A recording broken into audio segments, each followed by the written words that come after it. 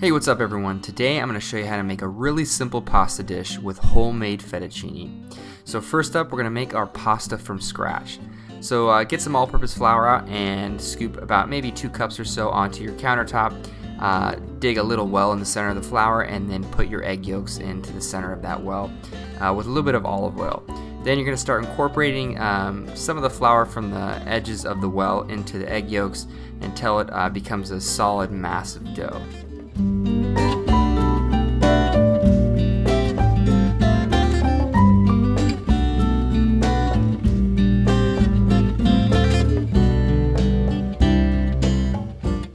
Alright, so once the dough has come together, you're going to knead it for about 5 to 7 minutes until it becomes a really nice, smooth piece of dough. Once that's done, you're going to wrap it up in plastic and let it rest for about 30 minutes to an hour.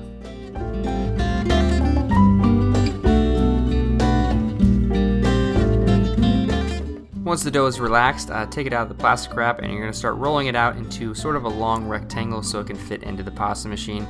Um, you could actually roll this out by hand if you wanted to, but it definitely will take some time and some arm work. Um, so if you don't have the time or the strength to do that, I recommend just using a pasta machine like I have here.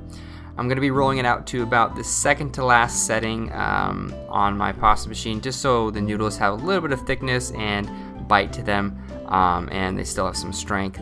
And then I'm going to run it through the fettuccine attachment in my pasta machine.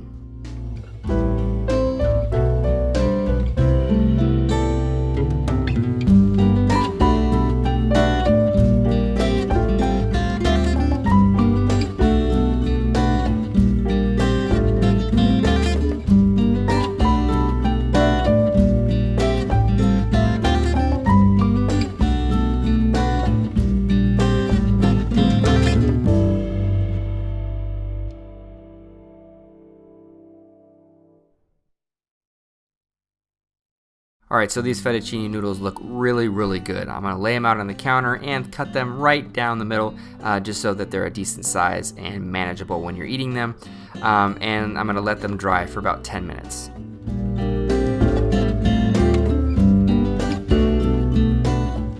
Alright, so once your pasta has slightly dried out, get a pot of boiling water going with a decent pinch of salt, and you're going to cook this pasta for a solid two minutes.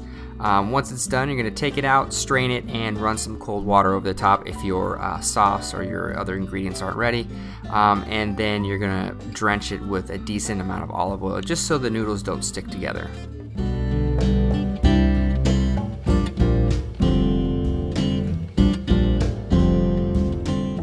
Alright, so for the sauce, get a medium saute pan on medium heat, um, and you're going to add some olive oil to it and some garlic then some cream, and you're gonna let it reduce uh, for about a minute or so.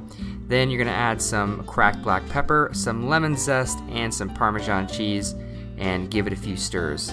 Once that's done, you're gonna add your pasta to all this beautiful creamy goodness.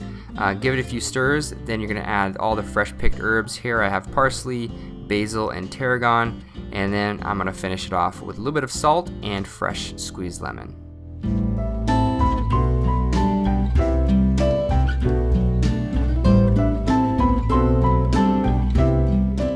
Alright, so once your pasta's done, it's time to plate it up. So here I'm going to use a really clean white plate. Um, and then I'm going to try to give as much height on the pasta just to give a really beautiful presentation.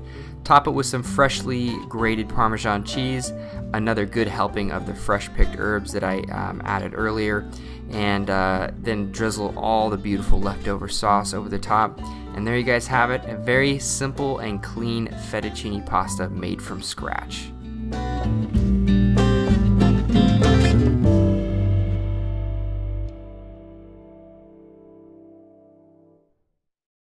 All right, I think this was a fantastic recipe to kick off pasta week. Really simple, uh, aside from the pasta, this is a really, really easy pasta to make. Yeah, just like a simple lemon garlic cream sauce, a little bit of fresh herbs, Parmesan cheese, pretty simple. Let me try this out now. Mmm, like right away you can smell the lemon, uh, the garlic, all the herbs. Got some basil, tarragon, some parsley. Mmm, nice creamy pasta going on here fettuccine is just incredible.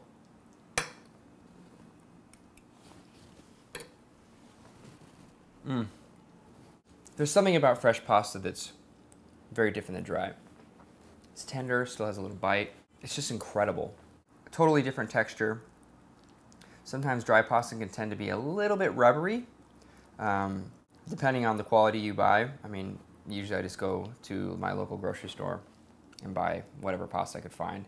And it's, it's all right, but this is just like really tender, nice and rich. Mm. Oh, this is bomb. And it probably took me, I don't know, 15 minutes to make the pasta. So it really doesn't take that much time. The first couple times you make pasta, it's a little difficult to get the consistency down. You know, you kind of make a mess on the counter. Um, but once you got it down, really quick and simple. And it's so worth it. Well, hopefully you guys enjoyed this kicking off of Pasta Week. Um, it was definitely fun making this dish. Um, this pasta was absolutely incredible. Hopefully you guys enjoyed this video. If you did, as always, thumbs up, subscribe, and comment below for future videos. Um, you know, let me know what pastas you want to see the next couple days, and I'll try to get, you know get cracking on them. And uh, yeah, I'll see you guys next time with another delicious recipe. Bye, everybody.